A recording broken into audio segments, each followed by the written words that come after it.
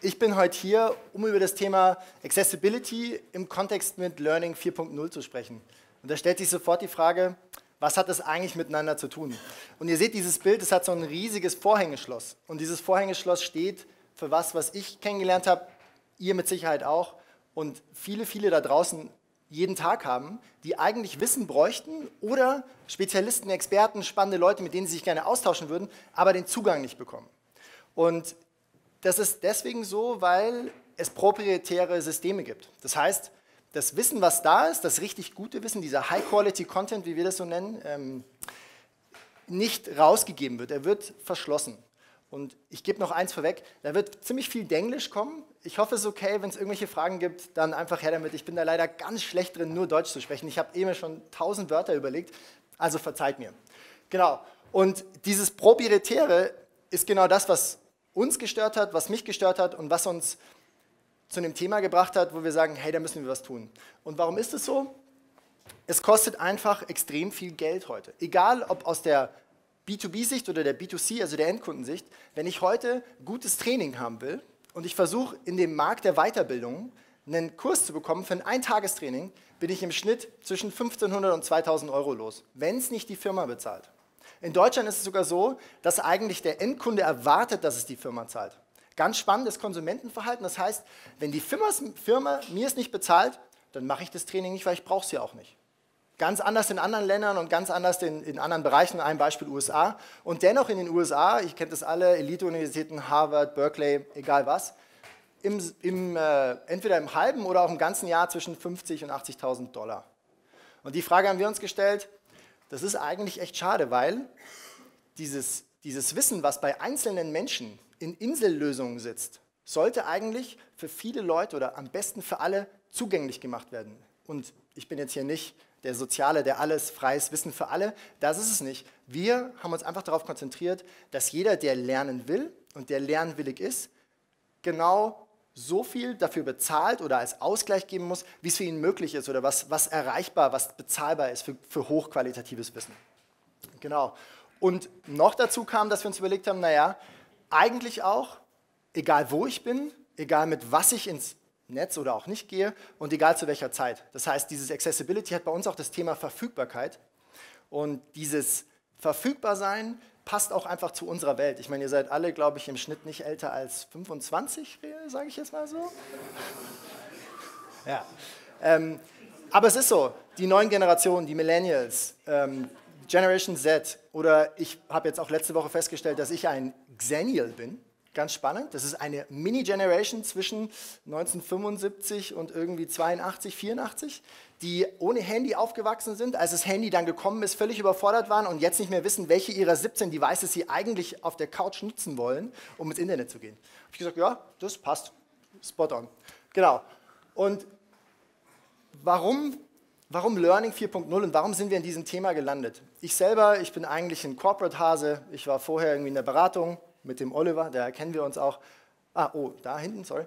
Und danach klassisch die Corporates durchgepustet, hatte dann irgendwie zumindest das Glück, in der Corporate zu landen, die einigermaßen neu orientiert ist. Stichpunkt Amazon, ja. Ähm, und die das auch spannend macht. Und da ist uns aber trotzdem aufgefallen, dass das Thema Führungskräfteentwicklung ein ganz extremes Thema mit proprietärem Wissen hat. Also egal, ob ich es als Firma kaufe, egal, ob ich es als Endkunde kaufe, Führungskräfteentwicklungstraining ist per se teuer. Und wir haben uns in die Frage gestellt, warum ist es so und was sind eigentlich die Nachteile davon? Und die Nachteile ist eine ganz spannende Perspektive. Wenn ihr das als Pyramide seht, dann sind die Top 10% in einem BMW-Konzern oder in einem Daimler-Konzern. Das sind eh die Nachwuchstalente. Die sind meistens auch schon identifiziert und die kriegen so viel Training, dass es ihnen hier reinläuft und da raus. Und das Spannende daran ist, die brauchen es eigentlich am wenigsten.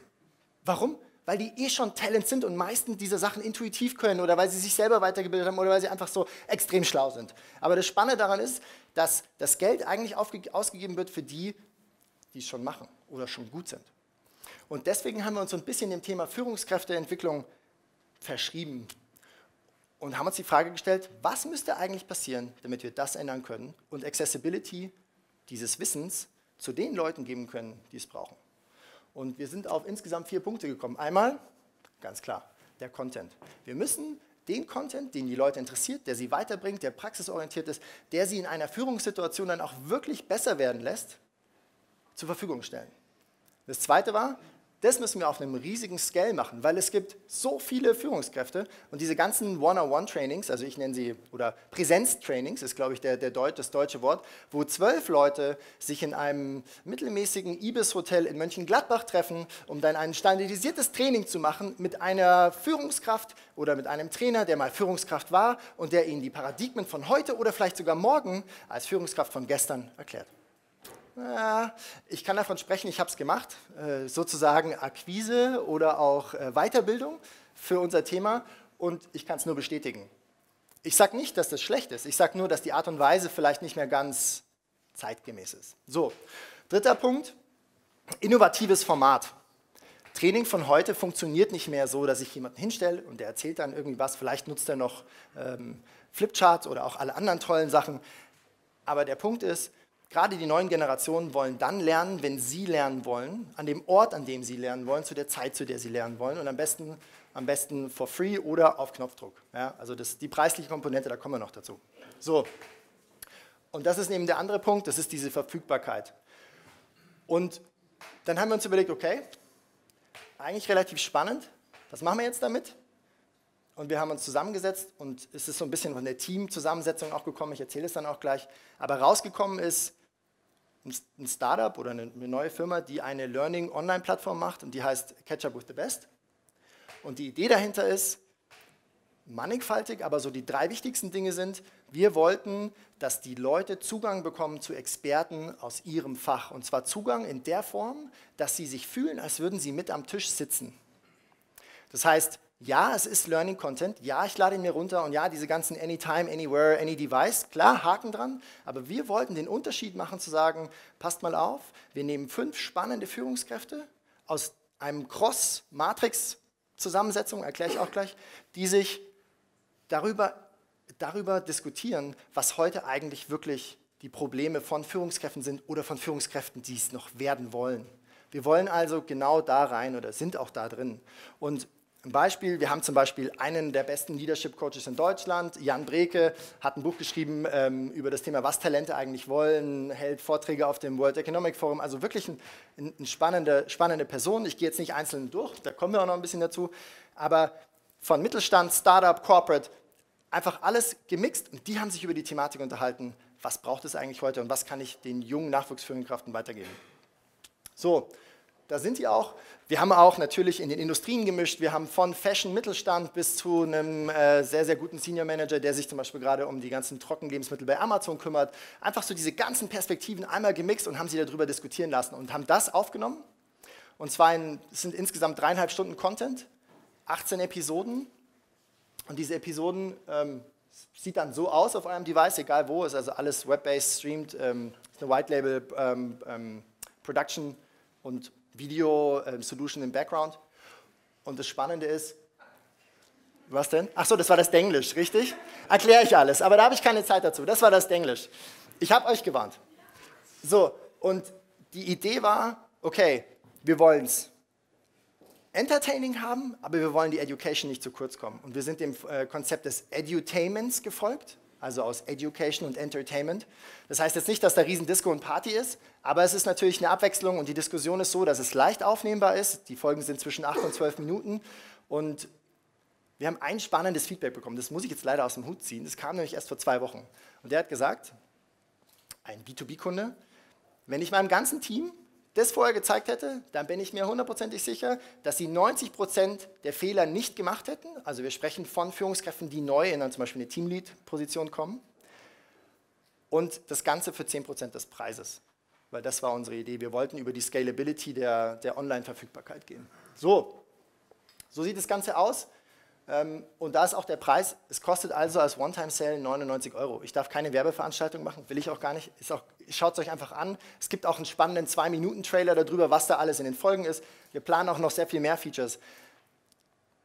Was aus meiner Perspektive irgendwie das Spannende ist, und wir sind wie jedes Startup total mini, wir sind seit äh, vier oder fünf Monaten auf dem Markt, äh, wir haben die klassischen, klassischen Themen und doch haben wir doch relativ viel Traction schon bekommen, gerade aus dem B2B-Markt, weil die die HR-Direktoren, die großen HR-Direktoren eben sagen, naja, das bietet uns die Chance, die Pyramide weiter nach unten zu beschallen und zu bestücken. Und wir haben äh, dieses ganze Führungskonzept auch natürlich auf den, auf den neuesten Thematiken und Führungsparadigmen und aus diesen ganzen Insights zusammengebaut. Oh, jetzt habe ich es fast abgerissen. Und das, wer das gemacht hat, natürlich ich nicht alleine, das ist mein Team. Ähm, die Karin, der Hans und die Marina, da gehe ich jetzt auch nur so ganz ein, da können wir nachher noch sprechen. Auf jeden Fall ein klasse Team, hat mir total Spaß gemacht. Die sind auch super fleißig, die haben gesagt, sie wären gerne dabei, aber die müssen posten, weil wenn wir bei 12 Minute Me sind, dann müssen wir das natürlich auch sozial verteilen. Aber was ich eigentlich noch sagen will, ist, die Frage, die sich stellen wird, und die ihr, werdet ihr mir auch stellen, warum eigentlich nur Leadership? Und das ist gar nicht die Idee, sondern es kam daher von dem Thema Amazon, was ich gesagt habe. Und es kam auch da, dass wir eine, in dem Thema Organisationsberatung uns vermehrt im Team ähm, sozusagen ausgetauscht haben. Wir haben uns ganz viele Themen angeschaut, inklusive waren wir bis in Berkeley und haben uns ein Leadership Coaching reingezogen, einfach zu schauen, was ist da eigentlich die Qualität des Contents.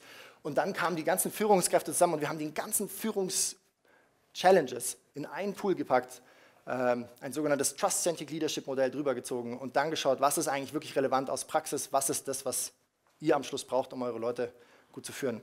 Und das ganze Ziel war, wir wollen einen positiven Impact auf die Führungskultur in Deutschland haben. Und das ist auch der Anspruch. Es ist also euer Season One. Es gibt noch zwei weitere, die in Produktion sind. Und wenn wir es schaffen, dann würden wir das gerne für jeden Beruf machen. Also nicht nur Catch Up with the Best Leaders, sondern Yoga-Teachers, ähm, Lawyers, whatever. Das war's.